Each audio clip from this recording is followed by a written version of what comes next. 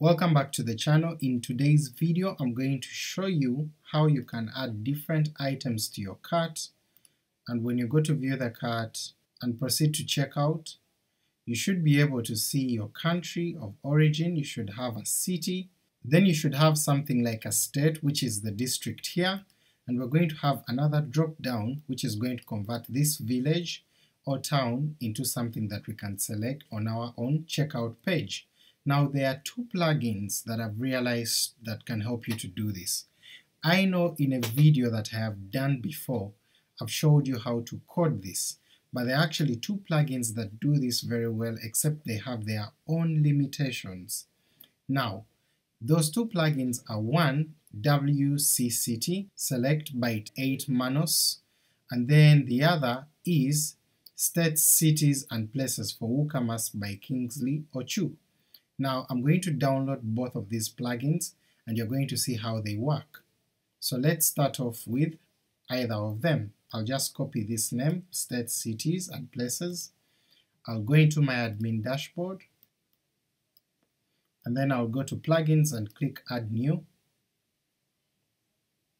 and then I'll quickly search for this, I'll install it, and as it's installing I'll just get this other name WC City select, and I'm going to go into my plugins right here, and I'm also going to look for it, and it's this one by 8 Manos, so what I'm going to do is also install it, and then we'll be able to use it. Now I'll activate the WC City select first, and when I activate it we shall be able to see a city select. And then we shall also have a drop down for the different cities. So when I come here, we have Uganda here, I'm going to select a district, I can choose Abim, and I don't have anything extra, but this particular plugin gives you the options of you using the hooks and filters that are available for you to be able to extend what we have here. So what I'm going to do is I'm going to pick this filter and I'm going to use it in a plugin that I'm going to add on. So you have the option to either add it in the functions.php or throw this in a custom plugin. So what I'm going to do is open up my editor, I'm going to open up my file here, and then I'm going to open a new folder and I'll call it states and cities, states and cities for WooCommerce, and then I'll drop this in my editor, and I'll open a new file and call it also states and cities for woocommerce.php. I'll hit enter and then we'll have this available for now. I'll open my file with the PHP tag and then I'll use the start plugin shortcut that I always use to help me with my plugins, so I'll add in the name and I'll say this is states and cities for WooCommerce. I'll change the plugin link. And I'll just add my GitHub account, github slash ytt press.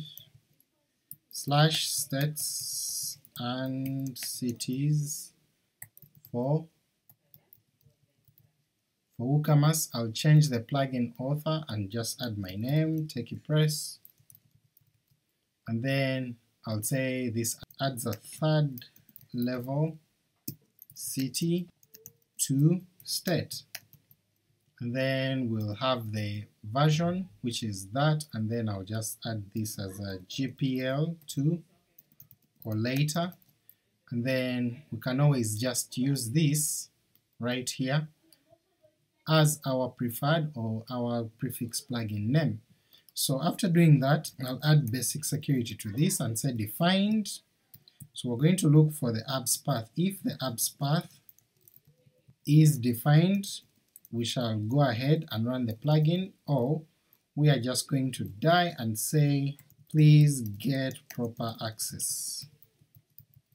So I'll save that and then we shall start writing our plugin. I'll go back to this, I'll copy this, and then I'm going to come back in here and I'll paste it.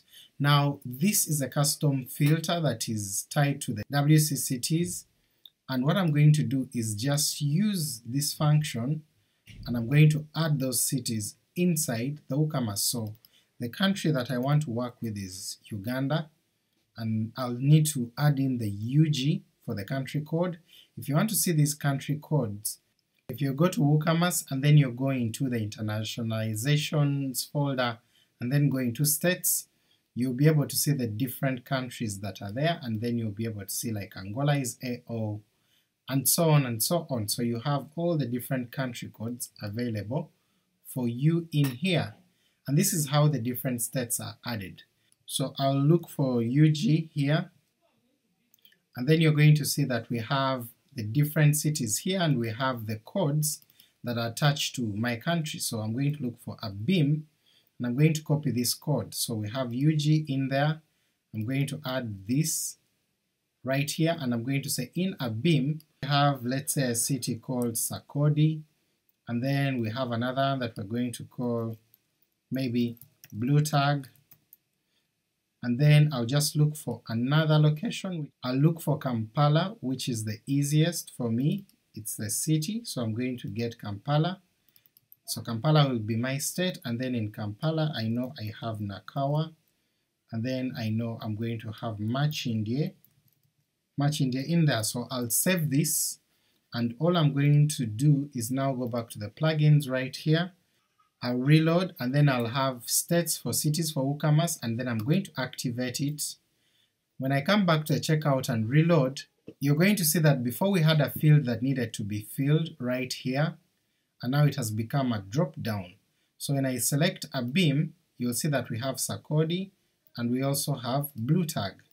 So easy. If I go to Kampala, if I look for Kampala, you're going to see that now the options available are Nakawa and Makindye, which I added through this particular extension of the code. So it's so easy, you use one plugin and then you can use it and then make your own filter and make sure that this is working. Of course you can use the same code inside your functions.php. Now let's comment this out so that we can see the other plugin which works sort of in a similar way. So let me go back right here in the plugins, I'm going to deactivate the WC City Select, and let's check the states, cities and places for WooCommerce. Now this particular plugin is a little bit different, in that it already has supported countries, so you need to check if your country is supported right here, then you'll be able to use that accordingly. So what I'm going to do is let me pick Australia from this, so in my checkout I'm going to have Australia, and after picking Australia I'll look for the state, the state I'm going to go for Queensland, and you'll see that now we have suburb showing up right here, and I can select a suburb and say I'm going to be in Brisbane. So this particular plugin is supported by contributors and people who share their particular countries and all the states that are associated with them. However, it also has its own hooks, like adding states and places. So let me go and see what filter hooks they have for us. I'll click on this, and you'll see that we are advised that if we want to add a state, we can either disable the state that is available, or we can actually add some fresh states into the different countries that we have. If you want to add your location, you can support this plugin by going to the plugin repository on GitHub and you'll add your new country and you can add more details. My biggest preference is just using this because it makes it so easy for me. Now I'm going to make a couple of modifications to my plugin so that when we don't have this plugin that we are dependent on, we get a little notice here that tells us that we need to have a particular plugin installed, and that plugin is WC City Select, so that we don't have our customer or our user confused about what's going on. So let me go back into my code and then we can begin working with that. When we come back here we'll use an add action, and the hook that we want to use is going to be plugins loaded, so we're trying to get this, that when the plugins are loaded, we are going to run this particular function, and the function we'll be running is going to be checking whether we have WCT available inside our plugin. So we're going to check for wc select active. So I'll copy this function name and then I'll start the function right here, and in here we're going to just say if and what I'll do is I'm going to look for a particular class that is run through when we start this particular plugin. Now I'm going to just open the files of this plugin so that we can see what kind of function we can tap into. So I'll add this here, and I'm going to look in the file right here, and we're going to see that this plugin already checks whether we have WooCommerce, which is a good part, and it has this particular class called WC City select, so I'm going to check for it, and we see that it is always activated here as a global. So we can either check for this global, or we can actually check for this class to see if it is actually active. So I'll copy that class name, and I'm going to say if not class exists so we're going to say if this class does not exist, then we're going to actually make our notice available. So we shall have add action, and this is all part of WordPress. So we're going to set admin notices, and in here we're going to add another function that's going to trigger the admin notices for the WC City active.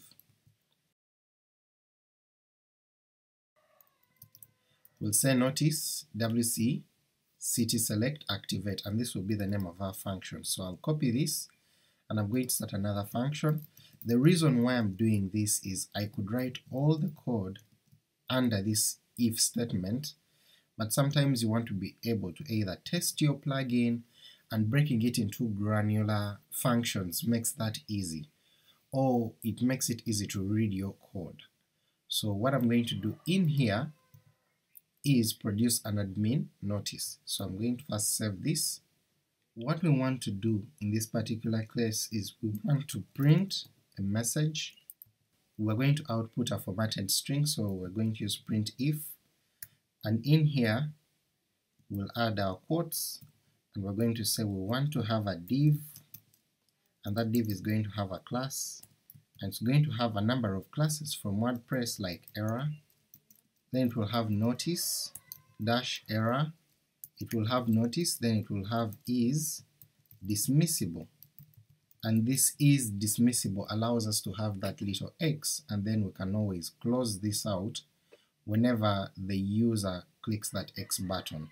So we also need to close this div, and inside this div we are going to add a very small piece of code that will allow us to extend this and also allow our plugin to be translatable into different languages.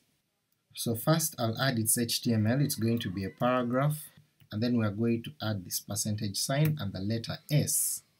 And after we do that, this will give us an opportunity to add the message that we want to pass as this percentage S here.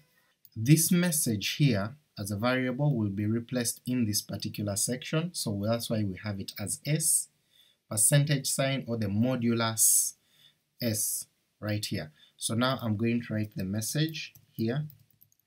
Now in here we're going to have the sprint if, which is going to return a formatted string, and in here we're going to add our translatable string, so I'll first add these underscores, there are two underscores that will allow us to translate the string we're going to have in here, and this is the message that we shall pass. The message we shall pass is say states and cities, states and cities for WooCommerce requires WC city select plugin to be active. Then after doing that I'm going to add a comma here and then I'll look for our text domain from here. I'm going to pick it, copy it, and then I'll add it here. Let me maximize my space.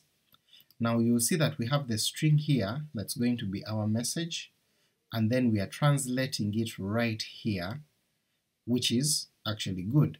Now if I save this and then come back to our page and reload, you're going to see that now we have this little error message with our X button to show that it is dismissible, and all we are saying is this particular plugin that we have activated and written requires to have this particular plugin that's deactivated.